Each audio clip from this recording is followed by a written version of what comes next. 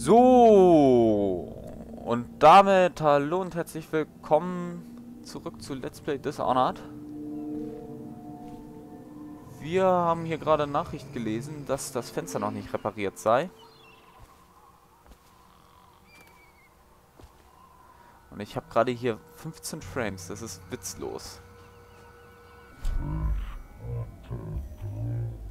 Ich habe noch drei Betäubungspfeile.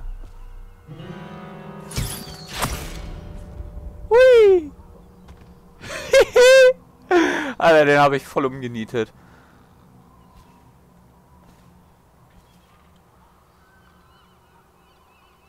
Curtis Pendleton. Headshot! Kann mir denn niemand helfen? Nee. Leider nicht. Oh Gott, da speichere ich lieber vorher ab. Ich habe gerade einen Plan, der allerdings gefährlich ist. Und ich will nicht verkacken. Deswegen speichere ich einmal kurz ab. Und dann würde ich sagen, teleportieren. Gut. Ja. Ist doch super gelaufen, ne?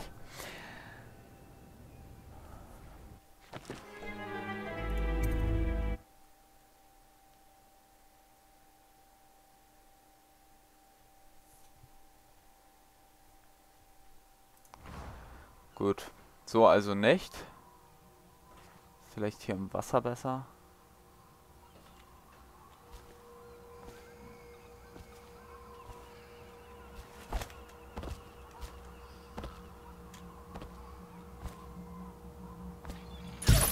Oh, ver oh, puh. Nein! Ich verdrück mich hier. Scheiße. Ich wollte mich da doch nur hin teleportieren.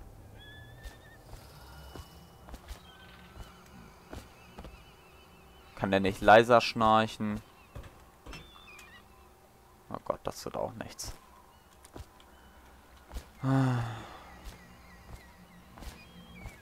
Ach, wir müssen ja eh noch nach oben. Da war ja was.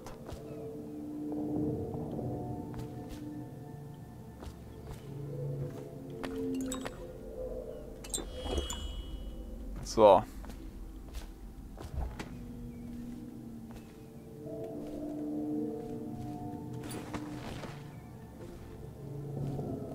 Ab geht's in den Kurtisanenschlafraum. Muss ich nach oben weiter? Ja, ne? War ich hier richtig? Ich weiß es gerade gar nicht. Werd ich gewahr. Alter, das geht mir gerade richtig auf den Sack. Kurtisanenschlafraum in die Richtung.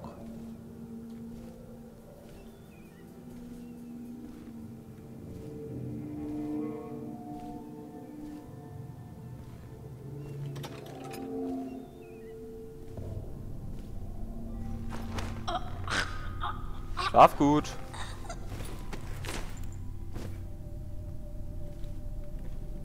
So. Hm, sieht ja sehr bequem aus. Aber hier komme ich auch nicht dahin. Scheiße, Mann. Da lang muss ich.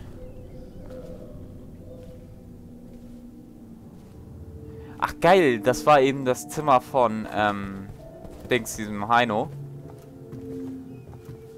Von Curtis. War das Curtis? Jedenfalls, ähm, hatte der, äh, hatte der mich ja nicht bemerkt. Deswegen hat er sich aufgelöst. Geile Sache.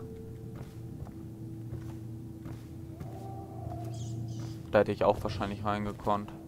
Erstmal muss ich weiter nach oben. Ich habe vergessen. Hier. Hier war das. Alter, was soll denn das jetzt schon wieder?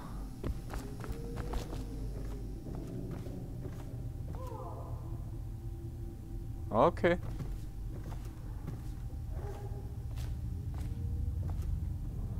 So, ich mach noch, ich mach doch noch mal eine ganz kurze Unterbrechung der Aufnahme. Bis gleich. So, kurze Unterbrechung vorbei und ich habe schon wieder Frame-Einbrüche. Es ist zum Knochenkotzen.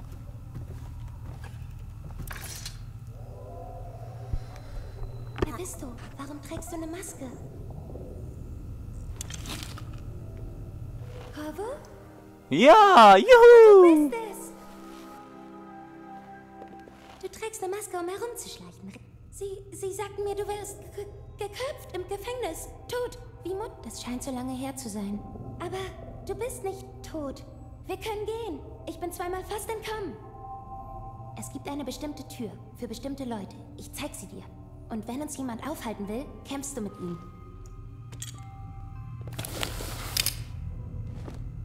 In die Richtung. Alles klar.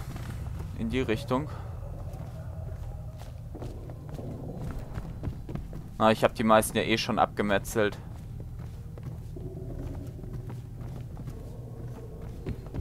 Wo denn die VIP-Tür? Noch weiter runter. Ach, das ist der untere Eingang, oder was?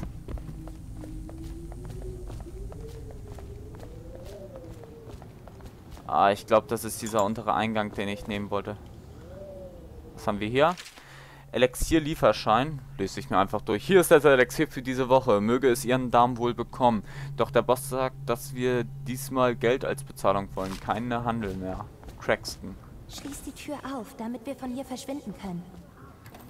Dieses Haus liegt am Fluss. Du bist mit einem Boot gekommen. Ich warte beim Boot auf dich. Ich kenne den Weg. Keine Sorge. Okay. Ja. Ziel gerettet. Juhu! Wir haben Emily gerettet und jetzt heißt es zurückgehen. Ab in den Destilleriebezirk. Sie tun, was die Lumpengräfin befiehlt. Ich kann sie lachen hören. Aber Sie werden schon sehen, was passiert. Ja, ich, wus ich wusste, dass es der Eingang war.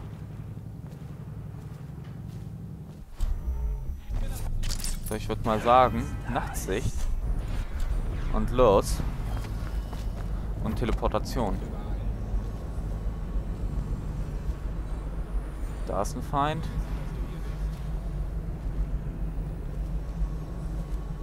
Samuel und Emily. Boah, ich hab, ich hab einen Plan. Ich hab einen Plan. Ja, genau. Kochaius.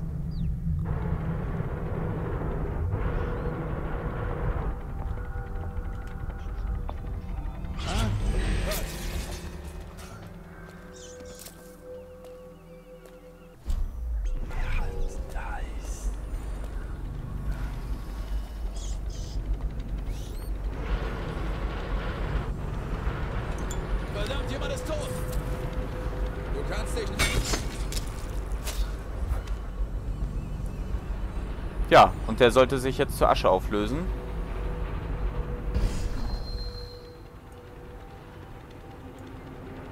Hm.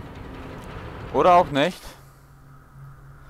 Offizieller Bericht der Wache an die zum Clevering Boulevard abgestellte Wachmannschaft. Angesichts des erst kürzlich versuchten Attentats auf Hauptmann, auf, auf Hauptmann Geoff Kernow nahe des Holger Square wurde, wurde ein neuer Wachturm bewilligt, um die Gegend zu sichern. Die Lage bleibt nach dem Vorfall gespannt, den Kernow nur aufgrund seines Trainings und seiner Geistesgegenwart überlebt hat.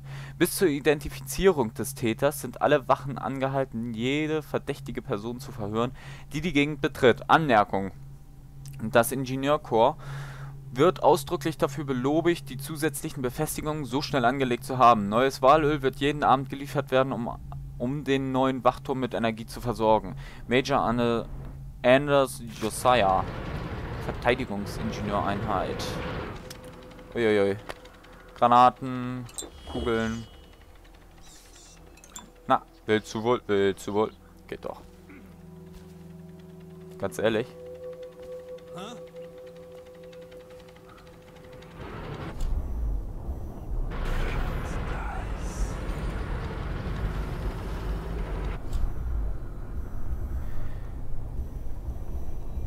Ich würde mal sagen.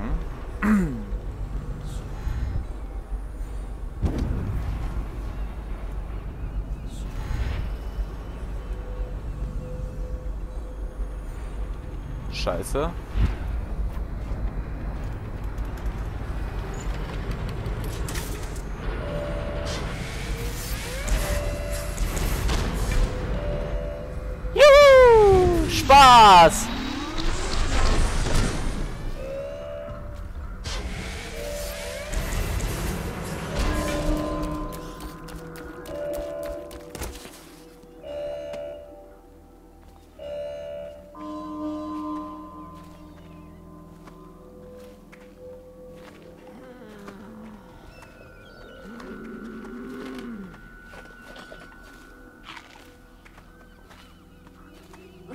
Ah, guten Appetit.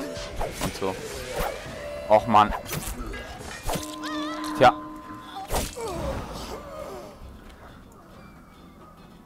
Ha, geil, der hatte mich nicht bemerkt. Fette Sache und so. Naja, bevor wir noch mehr abschnetzeln, würde ich sagen, wir haben die Golden Cat abgeschlossen. Zeit, um zurückzukehren. Wir haben Emily gerettet, wir haben Was denn jetzt noch? Sind Sie bereit für die Rückfahrt, Corvo? Sie haben ja nicht So. lange gefackelt. Steigen Ja. Sie ein. Nee, das stimmt. Ja, bringen wir Emily nach Hause. Juhu! 52 Gegner eliminiert! Ach du Scheiße, ey. Oh mein Gott. Ach, Gemälde von Sokolov kann man auch finden. Wieder fehlt mir eine Rune und ein Knochenartefakt. Ich weiß nicht warum. Ist mir auch egal.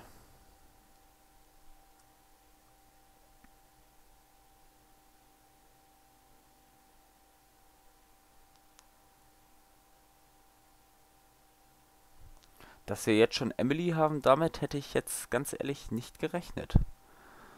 Hoher Besuch. Emily steht nun unter dem Schutz der Kaisertreuen. Da ihr Wohlergehen zumindest derzeit gesichert ist, wird es Zeit, die verbleibenden Verbündeten des Lord Regenten zu beseitigen. Jawohl. Sie haben Ihre Angelegenheit erledigt, Corvo? Es steht mir nicht zu, darüber zu urteilen. Doch wenn jemand sein Schicksal verdient hat, dann waren es diese Pendletons. Von welcher Angelegenheit sprechen Sie? Okay. Oh, ich, äh... Angelegenheiten für Erwachsene. Ich meine... Angelegen für Erwachsene, ja klar. Kein Problem. Ich habe in der Golden Cat von erwachsenen Dingen gehört. Oh. Ich sollte mich darauf konzentrieren, Okay. zu steuern. Ah, nicht, dass wir gegen eine Wand fahren.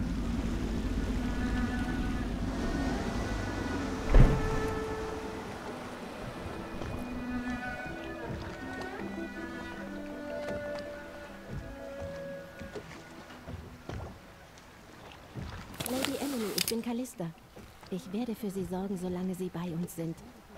Freut mich. Freut mich auch. Wollen Sie jetzt in meinem Turm sehen? Kann ich sehen? Ja, gerne. Sie werden es sehen. Kann ich sehen? Wurde hier doch gerade angeboten. Gut. Ich glaube, hier gefällt's mir. Ich gehe mit Callista, Corvo. Wir sehen uns später.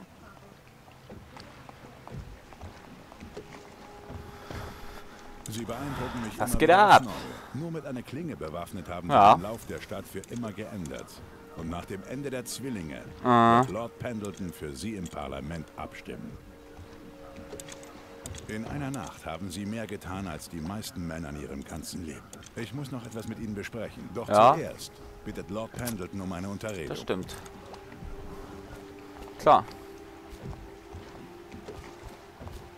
Wow, okay. Bevor ich mit dem mich unterhalte, werde ich noch ganz fix zum Heino hier gehen. Das Buch hatte ich ja Sagen schon. Sie mir einfach, was Sie brauchen. Lassen Sie mal Waffen und Werkzeuge, Werkzeuge sehen, die Sie anzubieten haben. Ähm, ja, Bolzen und so kaufe ich gleich. Betäuber, Kampfbolzen, Springminen. Ja, Minen sollte ich auch mal verwenden oder sowas. Springminenkapazität. Um vier. Insgesamt habe ich dann neun Granaten. Neun Springminen. Uh, um 10, dann habe ich 30. Ah. Kampfbetäubungsbolzen. Ja, will ich haben. Mehr Bolzen möchte ich tragen können. Jetzt habe ich noch...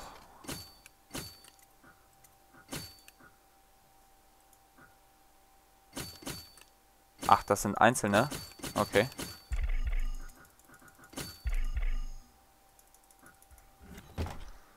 Na gut. Ich habe jetzt mein Geld auf den Kopf gehauen. Für Munition und so ein Scheiß. Ich würde sagen, die Zeit ist auch schon wieder um. Ich bedanke mich fürs Zuschauen und bis zum nächsten Mal. Ciao!